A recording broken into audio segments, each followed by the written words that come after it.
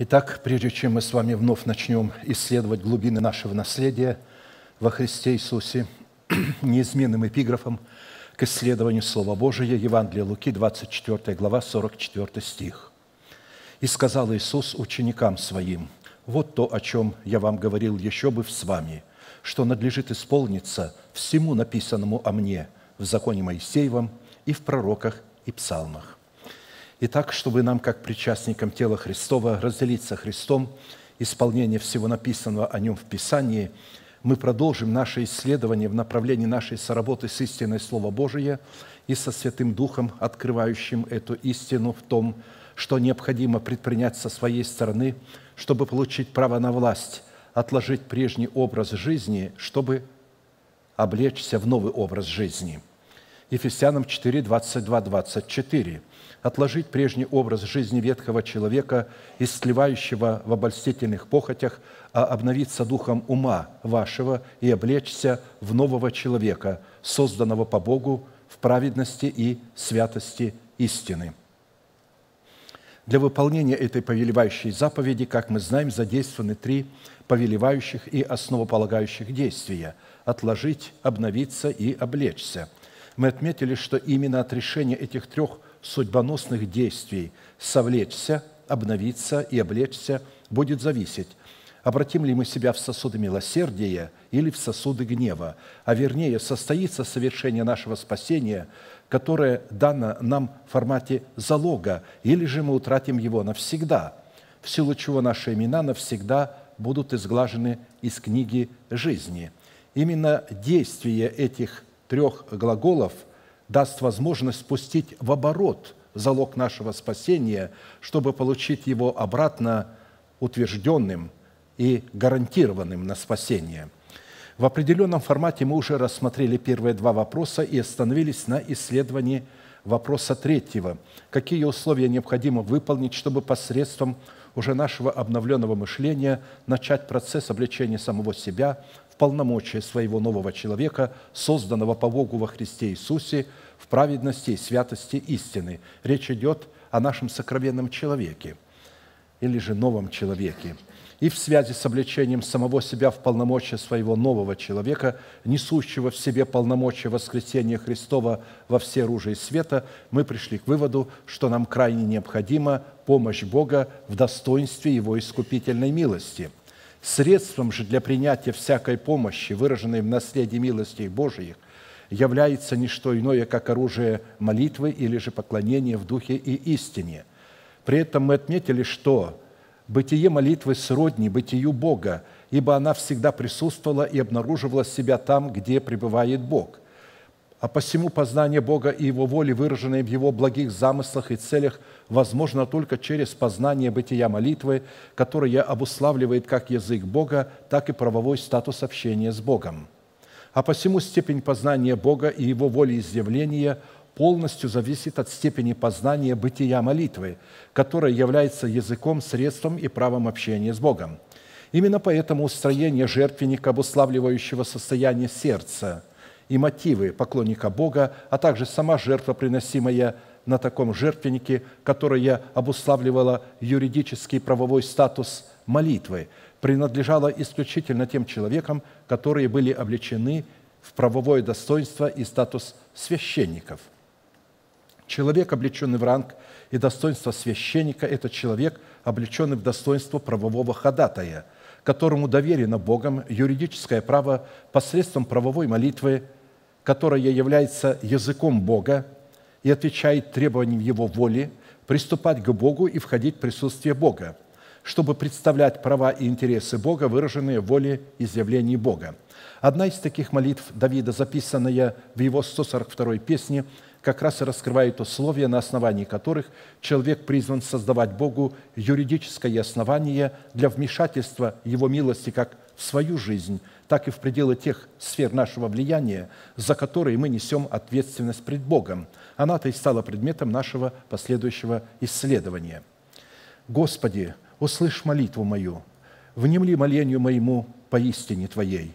Услышь меня по правде Твоей и не входи в суд с рабом Твоим, потому что не оправдается пред Тобой ни один из живущих. Враг преследует душу мою, втоптал в землю жизнь мою, принудил меня жить во тьме, как давно умерших. И уныл во мне дух мой, а немело во мне сердце мое. Вспоминаю дни древние, размышляю о всех делах Твоих, рассуждаю о делах рук Твоих, простираю к Тебе руки мои. Душа моя к Тебе, как жаждущая земля. Скоро услышь меня, Господи, дух мой изнемогает. Не скрывай лица Твоего от меня, чтобы я не уподобился нисходящим в могилу. Даруй мне рано услышать милость Твою, ибо я на Тебя уповаю. Укажи мне путь, по которому мне идти, ибо к Тебе возношу я душу мою. Избавь меня, Господи, от врагов моих, к Тебе прибегаю. Научи меня исполнять волю Твою, потому что Ты Бог мой. Дух Твой благи доведет меня в землю правды. Ради имени Твоего, Господи, оживи меня. Ради правды Твоей выведи из напасти душу мою.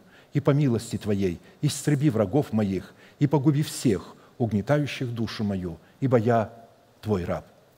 Мы отметили, что раннее утро, которое следует сразу после темной ночи, это образ воскресения Христова, явленный в законе Духа жизни, призванного освободить наши тела от закона греха и смерти, чтобы воцарить воскресение Христова в нашем земном теле и облечь наши земные тела в праведность воскресения Христова.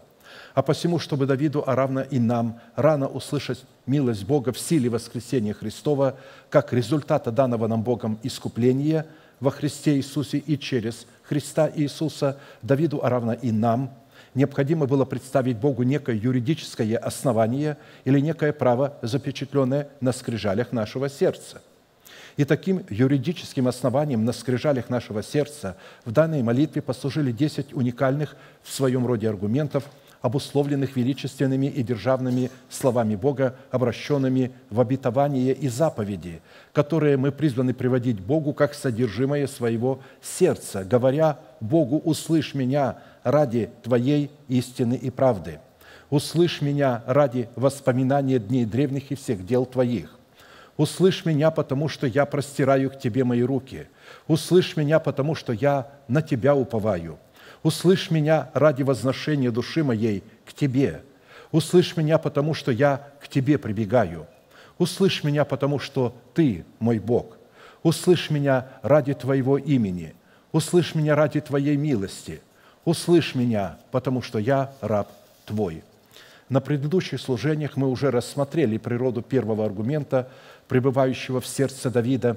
Это доказательство, что в его сердце пребывала истина и правда – которые являлись для Бога юридическим основанием, дающим возможность услышать Давида и встать на сторону Давида в его противостоянии с имеющимися у него врагами, и остановились на исследовании второго аргумента. При этом врагами Давида в данной песне является его ветхий человек, его собственная душа, его плотской ум – Образ этого доказательства мы усмотрели в судном наперстнике первосвященника. Это второй аргумент. Это доказательство, что в сердце Давида пребывала память дней древних, совершенных Богом в этих днях. И этот предмет являлся уникальным предметом постоянной памяти пред Богом, определяющим собою правовой статус молитвы, с которой мы, как цари и священники Нового Завета, призваны приступать к Богу во Христе Иисусе. И создавался судный наперстник и обслуживал только один предмет. Это Урим и Тумим, наличие которых в сердце человека позволяло Богу слышать человека, а человеку позволяло слышать Бога. А посему быть услышанным Богом – в откровениях его Урима, который являлся образом Святого Духа, необходимо было сохранять в своей памяти дела Божии в предмете его Тумима, образом которого являлось законодательство Бога, содержащее в себе свод всех заповедей и всех обетований Бога, которые являются делами Бога, посредством которых Бог как раз и совершает свои славные дела и совершал в древних днях и совершает сегодня – а посему судный наперстник, как предмет постоянной памяти пред Богом, это сакральный образ правового формата постоянной молитвы в устах правового ходатая, который дает Богу юридическое основание выполнять свою волю на планете Земля как в человеках добрых, так и в человеках злых. Таким образом, молитва, не соответствующая требованиям и характеристикам судного наперстника, не имеет юридического права называться молитвой в устах правового ходатая, призванного Богом с дерзновением входить во святилище, чтобы приступать к Богу. Так как только формат постоянной молитвы – представлены в судном наперстнике первосвященника, дает нам право во Христе Иисусе входить во святилище как царям и священникам Богу, чтобы представлять ходатайства, преследующие интересы Его воли. Порядок устройства судного наперстника определял и предписывал требования Духа и истины, которым должны были соответствовать истинные поклонники, которых ищет себе Бог – но настанет время, и настало уже, когда истинные поклонники будут поклоняться Отцу в Духе и истине. Ибо таких поклонников Отец ищет себе. Бог есть Дух, и поклоняющиеся Ему должны поклоняться в Духе и истине. Иоанна 4, 23, 24.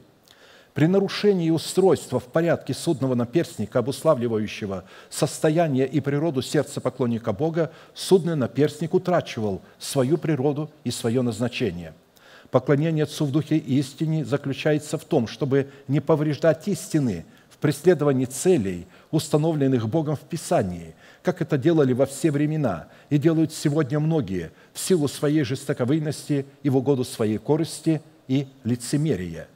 Ибо мы не повреждаем Слово Божие, как многие, но проповедуем искренне, как от Бога пред Богом во Христе. 2 Коринфянам 2, 17. В Септуагинте так называется наш перевод, судный наперстник называется знамением правосудия, так как посредством Урима и Тумима, которые содержатся в судном наперстнике, Бог мог сообщать человеку свой суд, свою истину, свою правду, свое определение. Образ судного наперстника – это образ совести человека, очищенной от мертвых дел, на скрижалях которой в 12 именах патриархов запечатлен образ статуса правовой молитвы – соответствующий требованиям начальствующего учения Христова. Совесть, очищенная от мертвых дел, запечатленная на ее скрижалях истинной правды, исполненной силы Святого Духа, призвана была давать Богу юридическое основание и право реализовать в них и через них Его волю на планете Земля. В определенном формате мы уже рассмотрели размеры и род материала, из которого должен был устрояться судный наперстник – которому мы призваны соответствовать в своем духе, и остановились на следующем требовании, которое гласит «И встав в судный наперстник, оправленные камни в четыре ряда, рядом рубин, топаз, изумруд – это один ряд, второй ряд – карбункул, сапфир и алмаз, третий ряд – яхонт, агат и аметист, четвертый ряд – хризолит, оникс и яспис. В золотых гнездах должны быть вставлены они – Сих камней должно быть двенадцать по числу сынов Израилевых, по именам их, на каждом, как на печати, должно быть вырезано по одному имени из числа двенадцати колен. Исход 28, 721. Мы отметили, что двенадцать золотых гнезд – это Слово Божие в учении Иисуса Христа, пришедшего плоти, которое обуславливало порядок, который мы, как поклонники Бога, призваны представлять пред лицом Бога в правовом основании своей постоянной молитвы. А двенадцать драгоценных камней – с вырезанными на них, как на печати, именами сынов Израилевых. Это образ и формат нашей постоянной молитвы, представляющей собой совершенные суды Бога, которые содержатся в начальствующем учении Христовом. Отсюда следует, что не золотые гнезда в предмете истины Слова Божия подгоняются по своему размеру и по своей конфигурации под драгоценные камни, а драгоценные камни в предмете наших молитв подгоняются под размеры и конфигурацию золотых гнезд истины. Это значит, мы должны научиться так молиться, чтобы наша молитва точностью соответствовала требованиям воли Божией. Постоянная молитва в 12 драгоценных камнях судного наперстника с 12 именами – это молитва неотступная, которая в своем ходатайстве представляет интересы воли Божией и не отступает от намеченной цели, доколе не получит просимое. В определенном формате мы уже рассмотрели, что постоянная молитва в 12 драгоценных камнях судного наперстника, с которой мы, как воины молитвы, призваны приступать к Богу во Христе Иисусе, призвана соответствовать таким требованиям. Она должна быть, во-первых, неотступной, во-вторых, усердной, в-третьих, прилежной, с дерзновением, с благоговением, с показанием веры сердца, с благодарением – с неземной радостью в страхе Господнем и во Святом Духе или же молением на иных языках. Значимость судного наперстника на поделе первосвященника как оружие воина молитвы призвана давать Богу юридическое основание действовать на планете Земля – и в первую очередь останавливать гнев Божий среди народа Божьего, когда он будет впадать в искушение смерти. Я вновь напомню, как природу судного наперстника описал Соломон в данной ему Богом премудрости.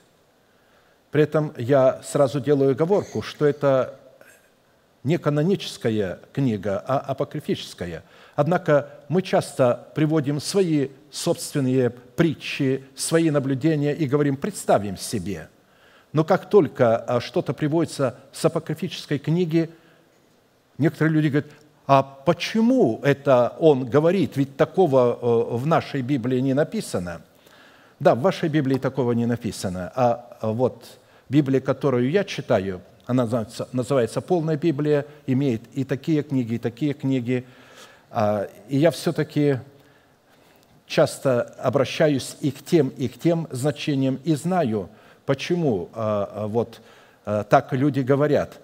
Потому что они всегда ищут предлога, чтобы за что-то зацепиться, чтобы опровергнуть истину. И вот что сказано в этой книге «Премудрости Соломона» 18, 20, 25. «Хотя искушение смерти коснулось и праведных, и много их погибло в пустыне, ведь полностью соответствует и нашим канонам. У нас написано, что да, люди погибли в пустыне, много их погибло. Но недолго продолжался этот гнев, ибо непорочный муж, речь идет об Ароне, поспешил защитить их, принеся оружие своего служения, молитву и умилостивление кадильно. Моисей ему сказал, «Скорее насыпь в кадильницу курения и пойди встань между мертвыми и живыми». Он противостал гневу и положил конец бедствию, показав тем, что он слуга твой – он победил истребителя не силою телесною и не действием оружия, но словом покорил наказывавшего, воспомянув клятвы и заветы отцов. Ибо когда уже грудами лежали мертвые одни на других, он, став в средине, остановил гнев и пресек ему путь к живым – на подире его был целый мир, и славные имена отцов были вырезаны на камнях в четыре ряда, и величие Твое на диадеме головы его. Этому уступил истребитель, и этого убоялся, ибо довольно было этого одного испытания гневного». Если бы вы прочитали вот всю эту историю в обыкновенной канонической книге, а потом вам сказали, теперь закрой и перескажи своими словами.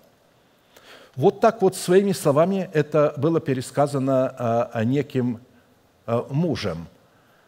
И почему-то мы начинаем возмущаться. Мы часто пересказываем Слово Божие и не возмущаемся, когда настолько дико пересказываем, неправильно склоняем, неправильно говорим, и не возмущаемся. А когда возвышенный художественный слог, который объясняет, мы вдруг начинаем возмущаться. А с какой это книги?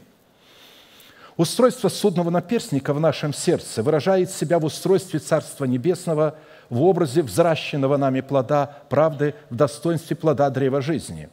Взращивание в своем сердце плода древа жизни – это устроение самого себя в нового человека, созданного по Богу в праведности и святости истины, в дом духовный и священство святое – при этом мы отметили, что как все великолепие и порядок храма создавались только для одного священного предмета и обслуживало только один уникальный священный предмет – это золотой ковчег завета – Точно так же и фот первосвященника с судным наперстником создавался и обслуживал только один священный предмет, который в точности призван был дублировать и исполнять функции золотого ковчега – это Урим и Тумим. Потому что как золотой ковчег завета, так и судный наперстник образно, но только с разных сторон и с различным назначением представляли совесть человека, очищенную от мертвых дел – Урим и Тумим на иврите означает свет и совершенство, свет и право или откровение и истина. Так, например, десятословие внутри ковчега завета являлось истиной. Эту истину в судном наперстнике представлял Тумим. А откровение Святого Духа, открывающего таинство Тумима, которое человек мог получать над крышкой ковчега завета, в судном наперстнике представлял Урим – а посему поклонником Бога мог быть только тот человек, который обладал в себе совестью, очищенной от мертвых дел, или же мудрым сердцем, на скрижалях которого была запечатлена истина в достоинстве Тумима, в силу чего откровение Божие в предмете Урима могло почивать только в границах истины, которую в сердце человека представлял Томим в учении Иисуса Христа, пришедшего во плоти, как написано. «И вот я в сердце всякого мудрого вложу мудрость, дабы они сделали все, что я повелел тебе». Исход 31, 6. Моисей как-то в одной своей отчаянной молитве обратился к Богу и сказал, «Научи нас счислять дни наши так, чтобы приобрести сердце мудрое». Ведь он там говорил а, о том, что ты положил тайное а, наше пред лицом твоим – Грехи наши положил пред лицом Своим, и мы исчезаем от гнева Твоего и от ярости Твоей мы в смятении. Дней лет наших семьдесят и при большей крепости восемьдесят, и лучшая пора их труд и болезнь, ибо проходят быстро, и мы летим. И далее он говорит, научи счислять дни наши так, чтобы приобрести сердце мудрое. Ведь невозможно истину принимать а, а, в глупое сердце – Что значит «научи меня»? Вот здесь написано «я в сердце всякого мудрого вложу мудрость, дабы они сделали все, что я повелел тебе». Не так много было в Израиле умных людей, то есть с мудрым сердцем. И вот те люди, у которых было мудрое сердце, Бог вложил туда откровение Святого Духа, и они могли делать те вещи, которые были необходимы для устроения скинии из золота, из серебра, из шерсти, из льна и так далее – когда говорится «научи нас осчислять дни», научи нас дорожить временем. Счислять дни, чтобы приобрести сердце. Научи нас дорожить временем, чтобы приобрести мудрое сердце. Дорожите временем, потому что дни лукавые. Люди говорят завтра, послезавтра, сейчас, через час. Как только у меня приходит мысль через час, я сразу себе говорю «сейчас» немедленно и приступаю к этому действию немедленно, а не отлажу. То как только приходит мысль завтра, нет, я буду делать сегодня то, что могу сделать сегодня, а завтрашний день сам будет о себе заботиться. То есть люди никогда не, при, не, приобретут, не приобретут мудрое сердце, если они не дорожат временем. Итак, в определенном а, а, формате мы знаем, что содружество Тумима и Урима – в сердце человека – это слияние между собой двух форматов божественной мудрости, которые гласят, что носители Тумима и Урима являются истинными поклонниками Бога и обладают иммунитетом Святого Духа, то есть иммунитет неприкосновения, который дается дипломатам высшего ранга, которые представляют президента в другой стране, своего президента в другой стране – в определенном формате мы уже рассмотрели семь свойств, которым обладало сердце воина молитвы в семи драгоценных камнях судного наперстника, через которые Бог мог постоянно приводить в исполнение свою волю на планете Земля, и остановились на исследовании и рассматривании восьмого свойства в восьмом драгоценном камне на судном наперстнике нашего сердца – оно представлено в достоинстве драгоценного камня агата, а именем, вырезанным на втором драгоценном камне судного наперстника на третьем ряду снизу, на скрижалях нашего сердца, служащего постоянной памятью пред Богом, являлось имя Ассир. Это восьмой сын Иакова, имя которого означает «пленник блаженства». А если полностью посмотреть в оригинале на иврите, то э, имя Ассир э, имеет вот такие э, интерпретации – пленник, обладающий блаженством в Боге, пленник, плененный Богом с высоты небес, пленник, обретающий благоволение в Боге, пленник, царствующий благодати через праведность сердца, пленник, обладающий самодостаточностью в Боге. И родилась Зелфа, служанка Лии другого сына Иакову, и сказала Лия, «К благу моему, ибо блаженную будут называть меня женщины» и нарекла ему имя Ассир. Бытие 30, 12, 13. И будем помнить, что совокупность всех имен патриархов, записанных на судном наперстнике нашего сердца, содержит в себе нашу благословенную судьбу, наше благое предназначение, наше святое призвание и нашу возвышенную и прекрасную долю, хранимую и предназначенную нам Богом во Христе Иисусе прежде создания мира – Мы отметили, что натуральный агат уникален тем, что ни один драгоценный, полудрагоценный или подделочный камень не может похвалиться таким количеством типов, видов, подвидов и семейств. При этом, как говорят ювелиры и любители драгоценных камней, всякий агат радует глаз, греет душу и увлекает разум. В переводе с, в переводе с греческого слова «агат» означает «блаженный», что вполне соответствует значению имени Асир, написанного на этом камне. Имя Бога, представленное в драгоценном агате по предположениям иудейского равината, означает «эль» или «он», что на русском языке означает «всевышний», превознесенный выше всего, что указывает на неограниченную и суверенную власть Бога как в безграничном пространстве, которое Он заполняет собою благодаря Своей вездесущности, так и на неограниченную и суверенную власть в измерении созданной им Вселенной, видимой и невидимой, которую Он заполняет собою в этом безграничном пространстве – оставаясь при этом сокрытым от всего видимого и невидимого творения абсолютной мглой, выраженной в его неприступном свете, обуславливающим славу его абсолютной святости, которой он отделил себя от созданного им творения и находится от него в величавом уединении и с неограниченной над ними властью. Право приблизиться и вступить в пределы священной мглы, обусловленной славой его неприступного света – превознесенного и пребывающего на высоте небес, призвано только семя Авраамова, в лице тех человеков, которые родились от семени слова истины и возросли в полную меру возраста Христова. Ибо надлежало, чтобы тот, для которого все и от которого все, приводящего многих сынов в славу, вождя спасения их, совершил через страдания, ибо и освящающий, и освящаемые все от единого – Поэтому он не стыдится называть их братьями. Речь идет о Христе, что он не стыдится называть детей Божьих, то есть тех людей, которые родились от семени слова истины, братьями. Говоря, возвещу имя Твое братьям моим, посреди церкви воспою Тебя. И еще, я буду уповать на Него. И еще, вот я и дети, которых дал мне Бог. А как дети причастны плоти и крови, то и Он также воспринял онные, дабы смертью речь идет о его смерти, лишить силы имеющего державу смерти, а держава смерти находится в нашем теле, в лице нашего ветхого человека, то есть дьявола. Дьявол имеет державу смерти в теле каждого человека в лице ветхого человека. И избавить тех, которые от страха смерти через всю жизнь были подвержены рабству. Ибо не ангелов восприемлет он, но восприемлет семя Авраамова, Евреям 2, 10, 16.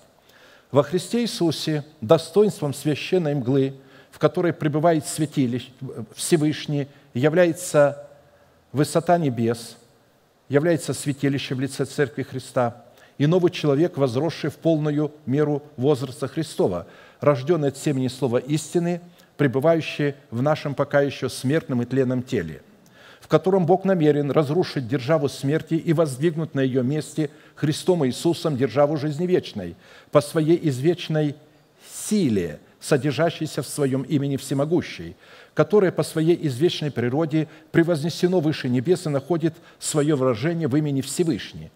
Таким образом, исходя из значения имени Ассира, написанным на драгоценном камне Агате, восьмой принцип, положенный в основании постоянной молитвы, с которым нам следует являться постоянной памятью пред Богом, являются функции, выраженные в нашей добровольной зависимости стать блаженными пленниками Бога, способными своей молитвой сработать с именем Бога Эль или Он, или же Всевышний, что на практике означает сработать своей верой с верой Божией – которая обнаруживает себя в имени Бога Эль или Он, или Всевышний. Так, например, перед своей смертью Яков, благословляя своего сына Ассира по вдохновению Святого Духа, предрек его судьбу, или же также и нашу с вами судьбу, которая призвана была стать для нас благословенной судьбой от Бога, то есть благословенной судьбой от Бога для всякого человека, поклоняющегося Богу в духе и истине – для сира слишком тучен хлеб его, и он будет доставлять царские явства». Бытие 49, 20. Это, разумеется, иносказание. Доставлять на иврите означает быть помазанным, быть посвященным, быть преданным или верным, быть исполнительным. а посвящает нас всегда помазание, помазание сие посвятит тебя. А чтобы помазать, надо было 30 лет изучать закон Божий в точности, чтобы его исполнять. И только потом соответствующее жертвоприношение, семь дней не отходя от святилища, и только тогда человек облачался в священные одежды, его помазывали елеем, и вот этот елей посвящал человека на вечное служение. Царские яства – это деликатес – вкусная пища, святыня, предмет поклонения, ободрение, радость, удовольствие, успокоение. На практике доставка царских яств призвана происходить исключительно через сработу нашей веры с верой Божией, обнаруживающей себя в имени Бога Эль или Он или Всевышний. Перед своей смертью Моисей, благословляя Ассира по вдохновению все того же Святого Духа, несколько шире приоткрыл судьбу имени Ассира, содержащуюся в достоинстве доставки царских яств. Об Ассире сказал, благословен между сынами Ассир. Он будет любим братьями своими и окунет в елей ногу свою. Железо иметь запоры твои, как дни твои будет умножаться богатство твое. Второзаконие 33, 24, 25. Это обетование, данное нам – Образ ноги, погруженный в елей, это образ хождения человека в помазующей вере Божией, которая раскрывает и демонстрирует образ хождения человека в свободе Христовой, освободившей нас от власти царствующего греха в нашем теле. В силу этого фраза «окунет ногу свою в елей» указывает на добровольное повиновение нашей веры, вере Божией, выраженной в нашем сердце в истине Слова Божия и в откровениях Святого Духа, открывающих значение – и назначение этой истины, или же на пребывание нашего сердца в истине Слова и во Святом Духе, открывающем значение истины в сердце и делающим нас свободными от зависимости царствующего греха в нашем теле. Тогда сказал Иисус к уверовавшим в Него иудеям, «Если прибудете в Слове Моем, то вы истинно Мои ученики, и познаете истину, и истина сделает вас свободными». Иоанна 8, 31, 32. Мы отметили, что образ запоров и железа и меди – это образ судопроизводства, а посему фраза «железо и медь, запоры твои» означает «суды твои в достоинстве железа и меди являются запорами ворот моих от проникновения в мое сердце всякой инородной и мятежной мысли. Да живет душа моя и славит тебя, и суды твои, да, помогут мне». Псалом 100, 18, 175. Суды Господни в достоинстве запоров из железа и меди, исходящие из законодательства Бога Всевышнего, представлены в исполнении повелений, откровений, заповедей и уставов Господних. Не отнимай совсем от уст моих слова истины, ибо я уповаю на суды Твои. То есть здесь судами Божьими называются слова истины – и буду хранить закон Твой всегда. Закон – это суды Божии во веки и веки. Буду ходить свободно, ибо я взыскал повелений Твоих». То есть суды Божьи – это повеления Божии. «Буду говорить об откровениях Твоих пред царями и не постыжусь». То есть суды Божьи – это откровения Божии. «Буду утешаться заповедями Твоими, которые возлюбил». Суды Божии – это заповеди Божии. «Руки мои буду простирать к заповедям Твоим, которые возлюбил, и размышлять об уставах Твоих». Уставы Божии – это суды Божии. Псалом 118, 43, 48.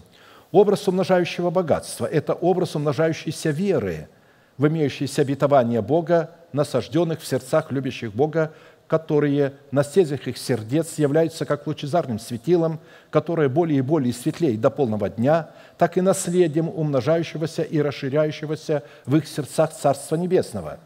Исходя из такой смысловой констатации, как дни твои будет умножаться богатство твое, означает богатство веры, хранящееся и пребывающееся, пребывающее в нашем сердце в достоинстве обетований Бога, которые являются лучезарным светилом на седях нашего сердца, ведущих нас к Богу, будет умножаться по мере нашего возрастания вере Божией, представляющей наше возрастание в имени Бога Всевышнего.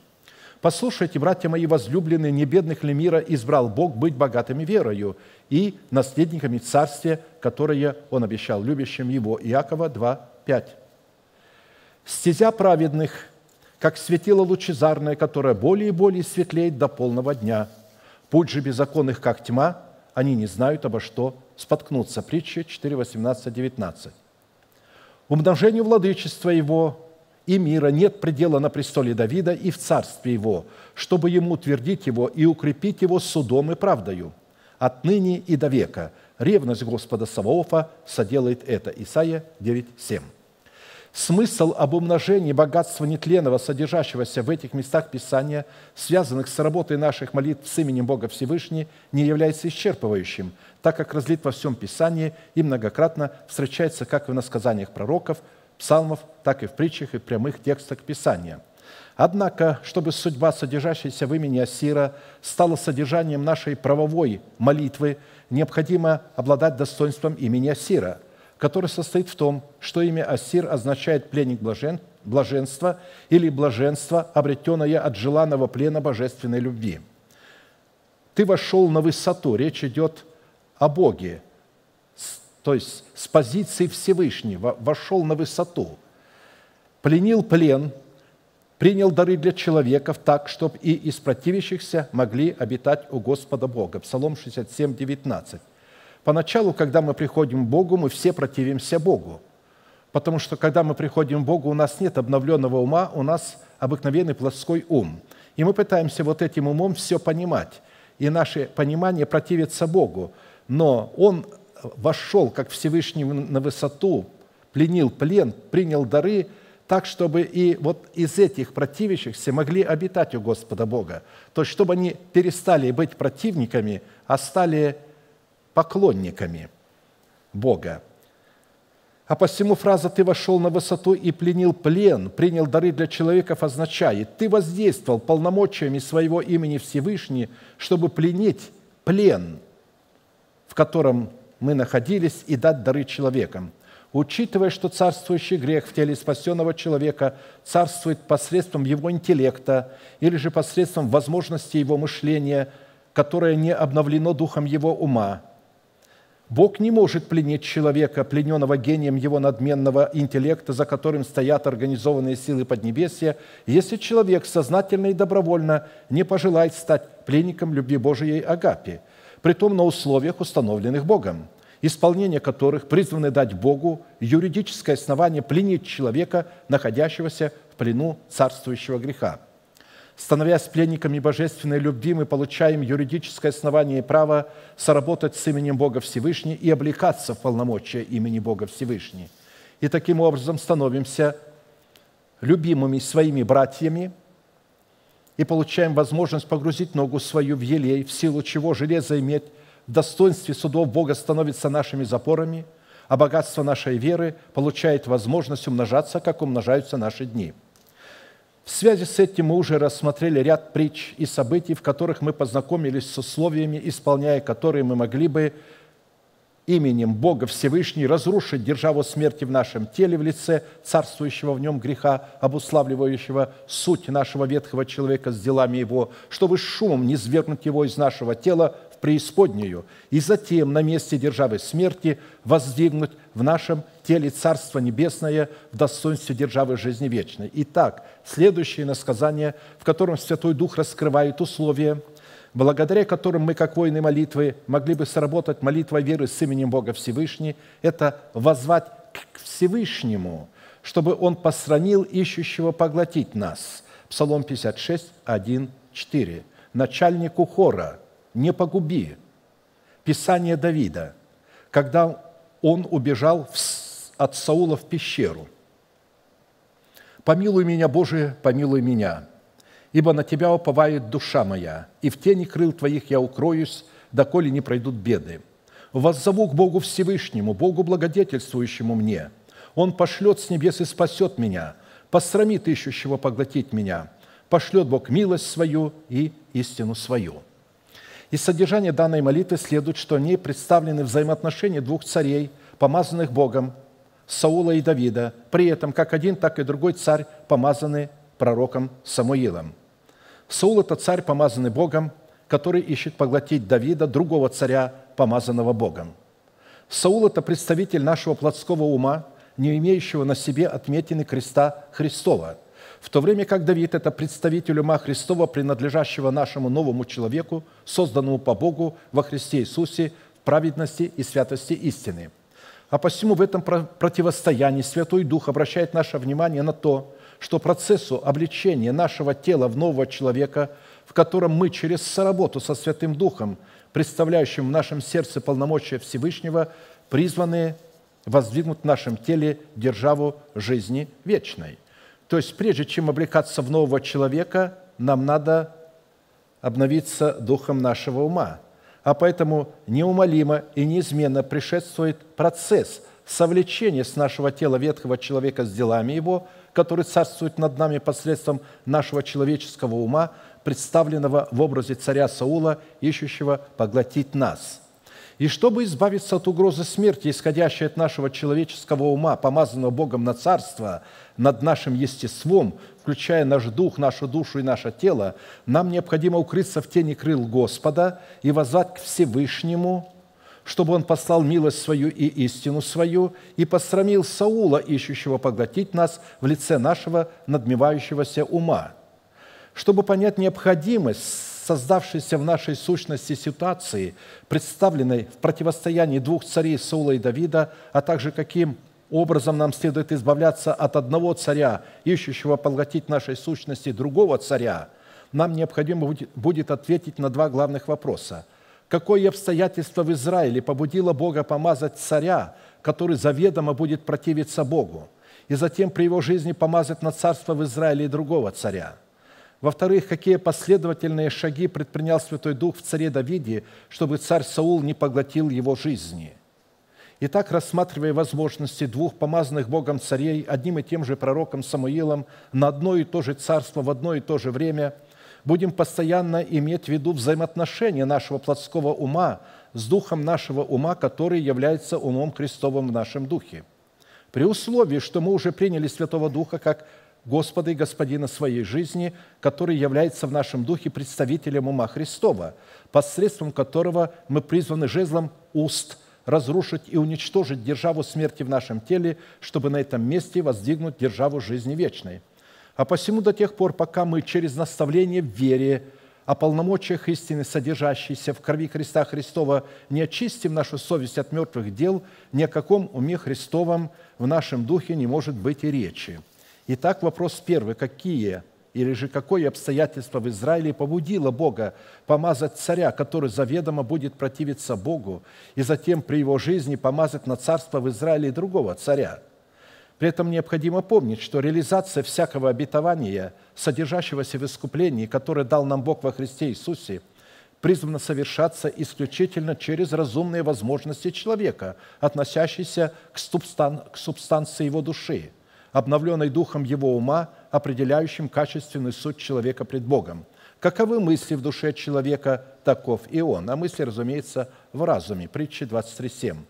Учитывая же, что человек, как живое программное устройство, сотворен Богом по его образу и по его подобию, в котором разум человека призван являться царем его естества, программой или генетическим наследием нашего программного устройства, перерождение от семени слова истины – был установлен закон жизни вечной, исходящий от Бога.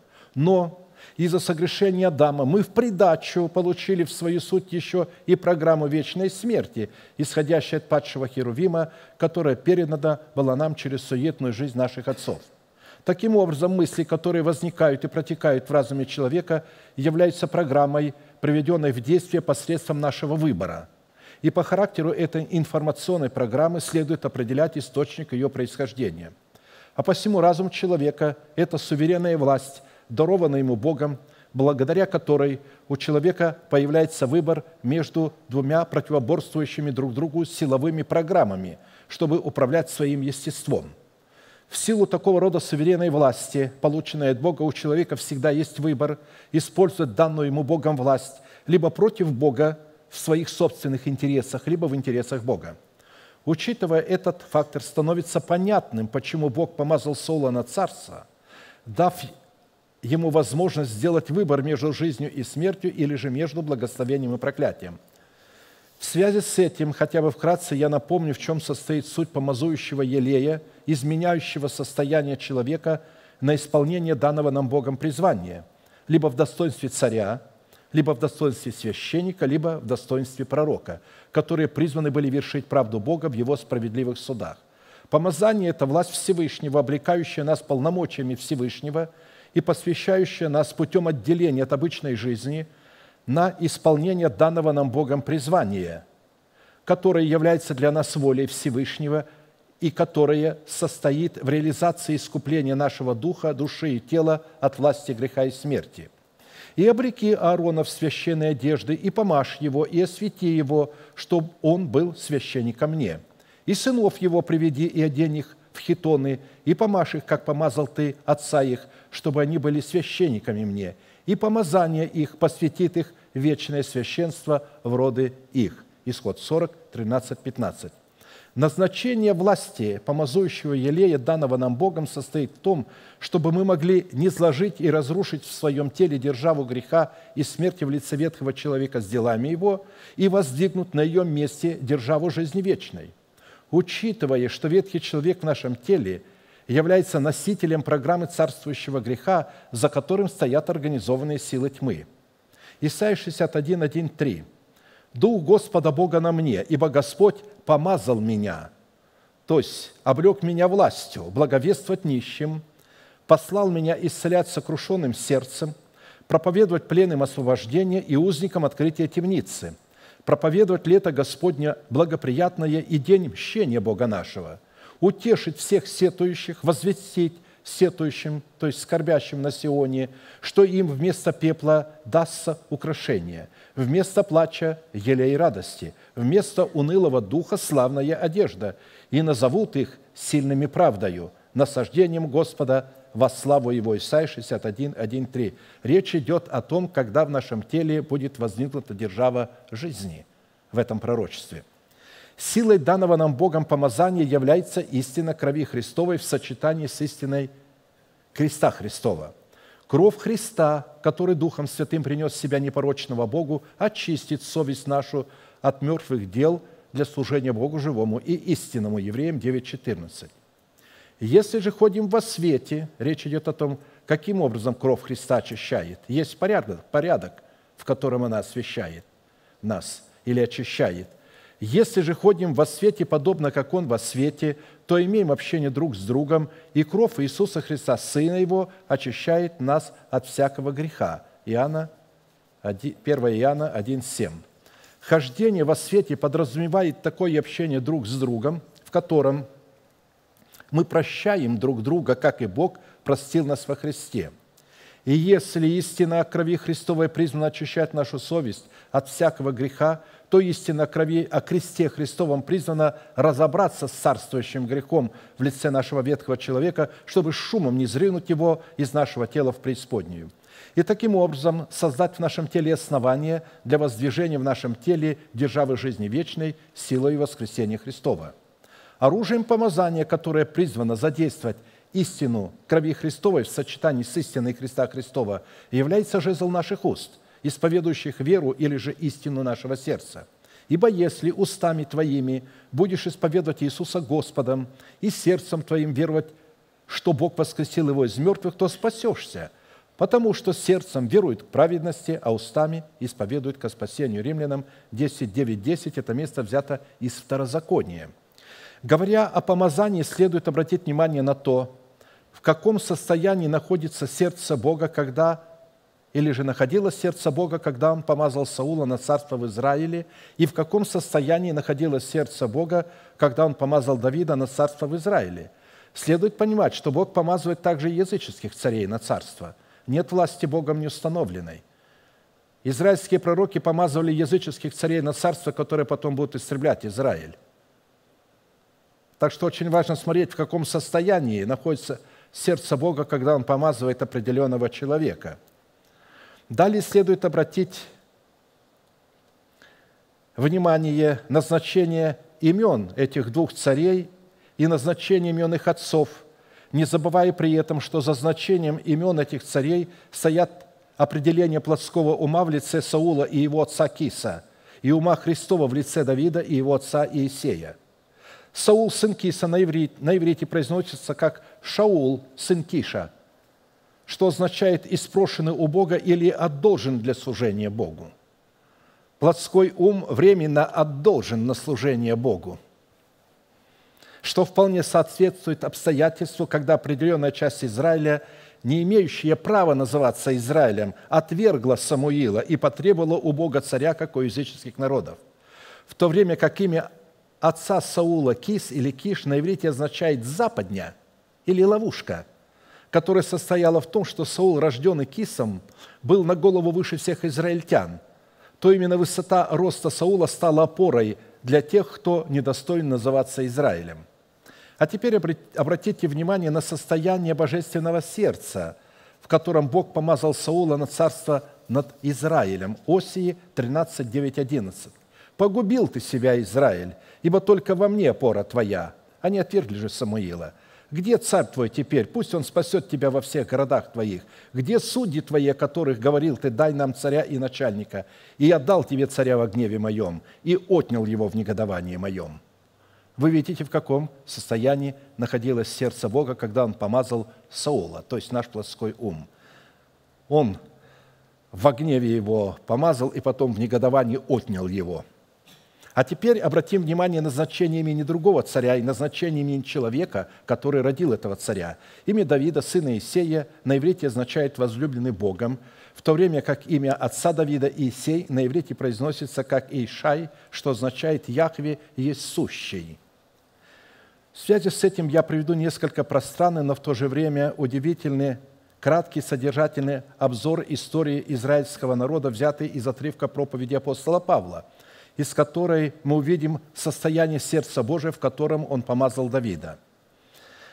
Павел, встав и дав рукою знак, сказал, «Мужи Израиль, израильтяне и боящиеся Бога, послушайте, Бог народа сего избрал отцов наших и возвысил сей народ во время пребывания в земле египетской, и мышцею вознесенную вывел их из нее, и около сорока лет времени питал их в пустыне» и, истребив всем народов в земле хананской, разделил, разделил им наследие землю.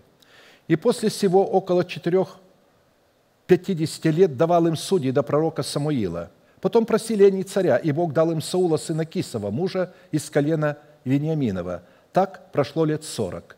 Отринув его, поставил им царем Давида, о котором и сказал, свидетельствуя, «Нашел я мужа по сердцу моему, Давида, сына Иисеева, который исполнит все хотения мои. Из его-то потомства Бог по обетованию воздвиг Израилю Спасителя Иисуса». Видите, разница состояния сердца, помазание – это власть. Но в каком состоянии было божественное сердце, когда он помазывал одного и другого? Таким образом, Израиль – это образ человека – имеющего в своем сердце обетование, относящееся к преддверию нашей надежды, тело которого призвано стать державой жизни вечной силой воскресения Христова. Пророк Самуил в достоинстве судьи Израиля – это образ человека, обладающего в своей совести Тумимом и Уримом, способного слушать Бога и быть услышанным Богом, потому что он передавал, он слышал, что говорил Бог, и Бог его слышал, и он передавал это людям. Имя Самуил на иврите произносится как Шемуэль, что означает «услышанный Богом». А Агак, царь Амаликитян, которого Саул по повелению Бога через Самуила должен был истребить с лица земли, это образ царствующего греха в нашем теле в лице нашего ветхого человека. Имя Агак означает «пламенеющий» или «чуждый огонь». Это образ павшего Херувима, представляющего в нашем теле ветхого человека в отношении которого Бог вынес такой приговор. Множеством беззаконий твоих, в неправедной торговле твоей ты осквернил святилище твои, и я извлеку из среды тебя огонь, который пождет тебя, и я превращу тебя в пепел на земле пред глазами всех видящих тебя. Все, знавшие тебя среди народов, изумятся тебе. Ты сделаешься ужасом, и не будет тебя вовеки». Иезекииля 28, 18, 19. Саул, который противопоставил слову Самуила свое собственное мнение о выполнении воли Божией, это образ нашего плотского ума, не имеющего на себе отметины креста Христова, который не способен предать заклятию ветхого человека в лице Агага. Отвержение Богом Саула как царя, чтобы он не царствовал более над Израилем, это образ смерти нашей души в смерти Господа Иисуса Христа – что позволило Богу в воскресении Иисуса Христа поставить мышление нашей души, представить мышление нашей души в достоинстве имени Давида. Давид, призванный, помазанный Богом на царство над Израилем через Самуила, который, через Самуила, который ранее помазал на царство над Израилем Саула, это образ нашего мышления, обновленного духом нашего ума, который является умом Христовым в нашем духе. Учитывая нашу суверенность, Бог не может без нашего участия отвергнуть помазанного им Саула в предмете нашего прежнего ума, чтобы воздвигнуть на его месте Давида в предмете нашего мышления, обновленного умом Христовым. Учитывая же, что для использования власти своего ума мы используем жезл наших уз, образ отвержения одного царя и замена его другим царем происходит через жезл, нашего, жезл наших уст, что проиллюстрировано в жезле Моисея – Итак, вопрос второй. Какие последовательные шаги предпринял царь Давид под воздействием откровений Святого Духа, чтобы царь Саул не погубил его жизни? Или же какие последовательные шаги нам необходимо предпринять, чтобы наш плоской ум, принадлежащий нашей душе, не поглотил своей самонадеянностью дух нашего ума, который является умом Христовым, принадлежащим нашему новому человеку?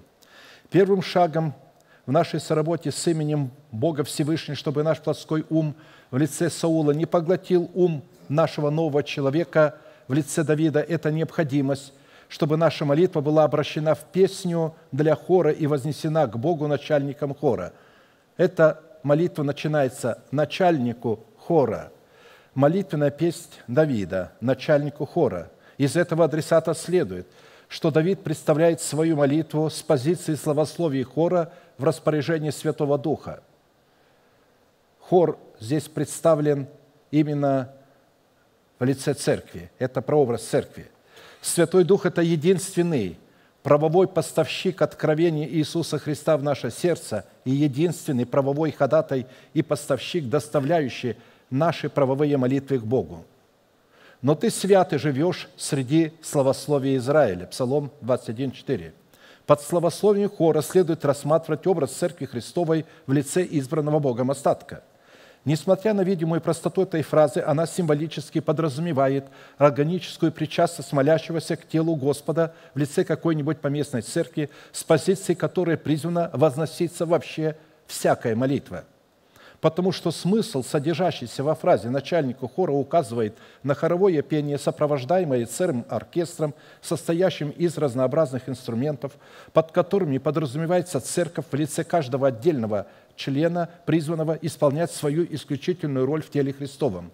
В то время как сам Давид, как образ ума Христова в нашем духе, с одной стороны, отождествляется с образом Христа, так как его имя означает «возлюбленный Богом», а с другой стороны, имя Давида раскрывает корень Иисуса и потомство Иисуса – из чего мы можем заключить, что ум Христов в нашем духе указывает на наше происхождение и является в нашем духе альфой и омегой, отражающей себя в звезде светлой и утренней.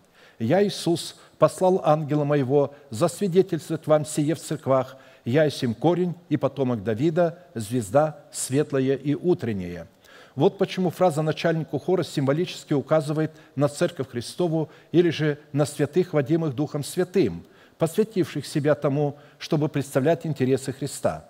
С одной стороны, смысл, содержащийся во фразе начальника хора, указывает на тот фактор, что все процессы, происходящие в данной песне, правомерны только тогда, когда происходят под воздействием Святого Духа в недрах Церкви Христовой, которая является суверенной территорией Царства Небесного на земле. А с другой стороны – что все эти процессы во взаимоотношениях святых друг с другом, исполняющих свою исключительную роль в созидании тела Христова, призваны сформировать каждого из ее представителей в совершенство образа Божия. Таким образом, всякая молитва, которой человек призван давать Богу право производить в нас свою работу на земле, может быть легитимной лишь только в том случае, когда мы имеем не только организационную, но и органическую принадлежность к телу Христову в лице какой-нибудь поместной церкви. А посему любая религиозная организация, не являющаяся Церковью Христовой или же примиряющая учение Христа с учением Будды, Конфуция или Магомета или еще какого-нибудь предводителя является религией Антихриста и не может быть делегированным путем к Богу. Нам следует усвоить, что без органического отношения к телу Христову в лице Церкви Иисуса Христа Святой Дух не может быть ни ходатаем за человека пред Богом, ни поставщиком его молитв. Праведность человека, которую он призван получить через очищение своего сердца кровью Иисуса Христа, возможно только в общении друг с другом в границах тела Христова при условии нашего хождения во свете, представляющей учение Христова. Если мы говорим, что имеем общение с Ним, а ходим во тьме, то мы лжем и не поступаем поистине. Если же ходим во свете, подобно как Он во свете, то имеем общение друг с другом, и кровь Иисуса Христа, Сына Его, очищает нас от всякого греха. 1 Иоанна 1, 6, 7. Получить оправдание и быть праведным невозможно вне добровольной зависимости и привязанности к собранию святых. А посему славословить Бога прилично только праведным и получившим свое оправдание через очищение кровью Христовой в правовом общении друг с другом, в котором пребывает Святой Дух. Радуйтесь, праведные Господи, правым прилично славословить. Псалом 32.1. Вторым шагом в нашей соработе с именем Бога Всевышний, чтобы наш плотской ум в лице Саула не поглотил ум нашего нового человека в лице Давида, это необходимость, чтобы наша молитва была вознесена к Богу начальником хора в пещере, куда убежал Давид от Саула, чтобы он не поглотил его жизни. Начальнику хора не погуби Писание Давида, когда он убежал от Саула в пещеру. Пещера – это образ смерти Господа Иисуса Христа, в который мы погружаемся вместе с Саулом. Вы помните, Саул тоже зашел в эту пещеру, они оба там находились. И там, в этой пещере, Саул разумел, кто такой Давид. И потом жалобным голосом кричал ему, «Сын мой, Давид, ты правее меня, пощади меня, когда Бог поставит тебя и когда меня не будет. Не истреби потомство моего». И Давид поклялся ему, что он это сделает. Вот посмотрите, что э, говорил Саул после того, когда Давид закричал к нему, «Посмотри на край одежды твоей, я отрезал его, ты был в моих руках, я мог тебя убить, но я этого не сделал». Посмотри, давайте посмотрим, что, как он эти слова сказал – да рассудит Господь между мною и тобою, и да отмстит тебе Господь за меня, но рука моя не будет на тебе. Как говорит древняя притча, от беззаконных исходит беззаконие. Рука моя не будет на тебе. Господь да будет судьею и рассудит между мною и тобою. Он рассмотрит, разберет дело мое и спасет меня от руки твоей». Когда кончил Давид говорить слова сии к Саулу, Саул сказал, «Твой ли это голос, сын мой, Давид. И возвысил Саул голос свой и плакал. И сказал Давиду, ты правее меня, ибо ты воздал мне добром, а я воздавал тебе злом. Ты показал это сегодня, поступив со мною милостиво, когда Господь предавал меня в руку твою – ты не убил меня. Кто, найдя врага своего, отпустил бы его в добрый путь? Господь воздаст тебе добром за то, что ты сделал для меня сегодня. И теперь я знаю, что ты непременно будешь царствовать, и царство Израилева будет твердо в руке твоей. Итак, поклянись мне Господом, что не искоренишь потомство моего после меня и не уничтожишь имени моего в доме отца моего». И поклялся Давид Саулу. И пошел Саул в дом свой, Давид же и люди его взошли в место укрепленное. Третьим шагом в нашей соработе с именем Бога Всевышним, чтобы наш плотской ум в лице Саула не поглотил ум нашего нового человека в лице Давида, это необходимость привести в своей молитве Богу такие аргументы, чтобы он мог получить основание, явить нам свою милость, доколе не пройдут беды от Саула, ищущего поглотить нас – и такими аргументами в последовательности нашей соработы с Богом Всевышним является упование нашей души на Бога в сочетании нашей способности укрываться в тени крыл Всевышнего. «Помилуй меня, Боже, помилуй меня, ибо на Тебя уповает душа моя. В тени крыл Твоих я укроюсь, доколе не пройдут беды». В Откровении в 12 главе жена, которая и осталась после младенца, который был восхищен, когда дракон пустил после нее реку, то именно она воспользовалась этими двумя крыльями и убежала в пустыню, где уже э, река дракона не была доступна для нее. А посему крылья Всевышнего в тени, которых мы призваны укрываться, доколе не пройдут беды от нашего плотского ума, стремящегося поглотить дух нашего ума, это два крыла большого орла, способные унести нас в пустыню, в присутствие Бога.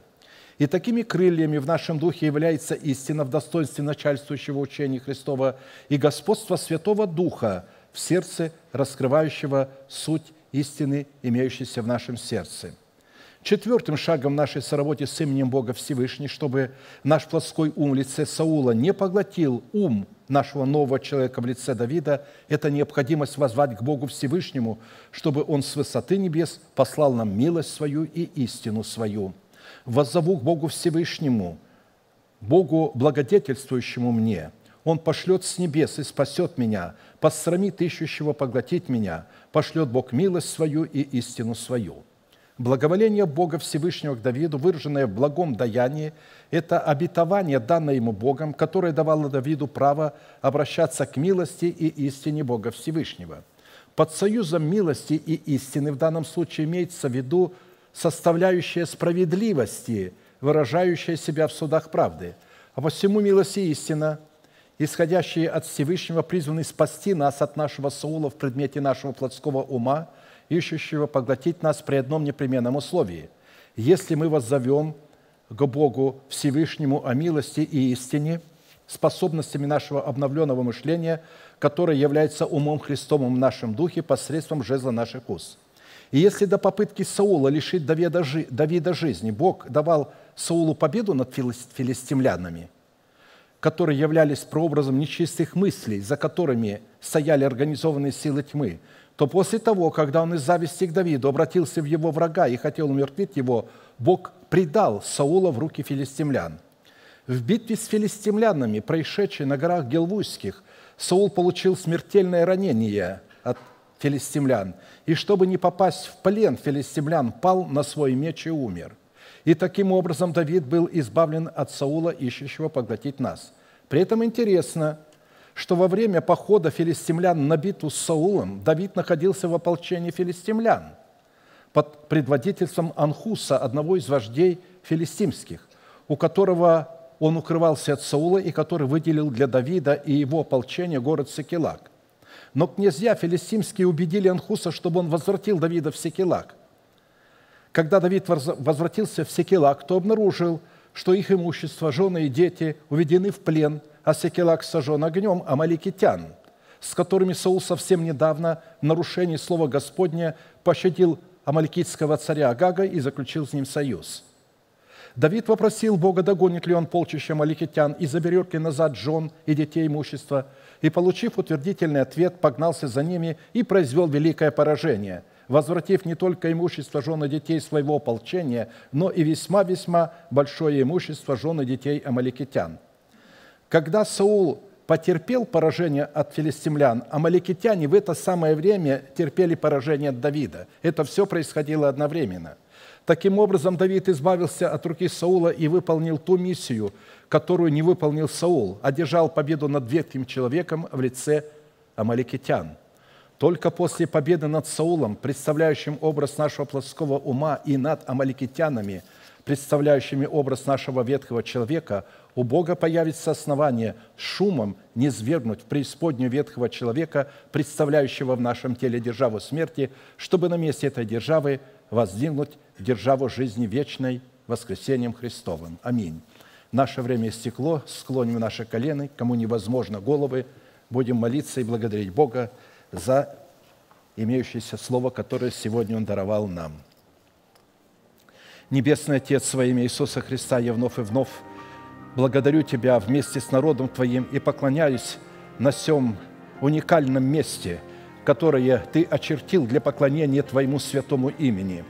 Благодарю Тебя, что, несмотря на покушение врага, который хотел отобрать у нас это место и всячески покушался на него – ты восторжествовал, потому что изначально ты дал это место для поклонения Твоему святому народу, чтобы постыдить плотской ум, чтобы постыдить врага, ищущего поглотить нас. Потому что плотской ум, который противостоит нам, находится не только в нас, и мы имеем опасность не только от нашего собственного плотского ума, но также и от плотского ума тех людей, которые находятся среди нас или же находились среди нас, и которые были помазаны, как и Саул был помазан на царство.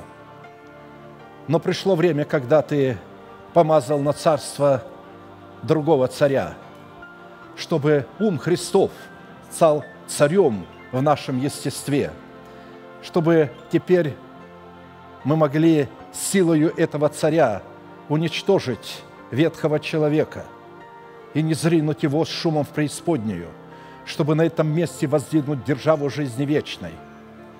Это то обетование, которое ты обещал народу твоему в преддверии восхищения, что прежде чем ты восхитишь невесту твою, ты явишь милость твою для тех, которых ты будешь восхищать, и дашь им гарантию восхищения, которая будет состоять в том, что ты шумом не свергнешь из нашего тела ветхого человека, эту державу смерти и тления, и воздвигнешь в нашем теле державу жизни вечной, и наше тело перестанет после этого быть телом смертным и тленным. Оно станет эталоном жизни вечной в земном измерении, доколе ты при восхищении не изменишь его в образ небесного – и восхитишь его в сретении Господу на облаках. Мы благодарим Тебя за это славное обетование, которое стало нашей надеждой, нашей радостью и исповеданием нашей веры. Мы устремились к Нему, взяли Его в наше сердце и стали называть несуществующее существующим. Мы стали благодарить Тебя и ожидать, наблюдая за временем, в котором мы живем – и мы благодарим Тебя, что это действительно последнее время, потому что только в последнее время Ты мог открыть это обетование для народа Твоего, чтобы они могли обогатиться этим обетованием, чтобы они могли возрадоваться и поднять свою голову из плена скорбей, из плена болезней, из плена зависимости от греха. Благодарю Тебя – что в этом обетовании мы уже свободны от всякой зависимости греха. Мы свободны от всякой болезни. Мы свободны от всякого страха и всякого позора. Ты заменил нашу печальную одежду на торжественные одежды, и унылый дух сменил радостью. Да возрадуется сердце народа Твоего прямо сейчас, и радуется, как человек, получивший великую прибыль. Благодарим Тебя, за это великое обетование, которое Ты дал нам в этом слове, в этом откровении, и поклоняемся пред Тобою, великий Бог, Отец, Сын, Дух Святой. Аминь. Отче наш, сущий на небесах, да святится имя Твое, да придет Царствие Твое, да будет воля Твоя и на земле, как и на небе. Хлеб наш насущный подавай нам на каждый день и прости нам долги наши, как и мы прощаем должникам нашим. И не введи нас в искушение, но избавь нас от лукавого, ибо Твое есть царство, и сила, и слава во веки. Аминь. А теперь провозгласим наш неизменный манифест, могущему же соблюсти нас от падения и поставить пред славою Своею непорочными в радости – единому, премудрому Богу, Спасителю нашему, через Иисуса Христа, Господа нашего, слава и величие, сила и власть, прежде всех веков, ныне и во все веки. Аминь.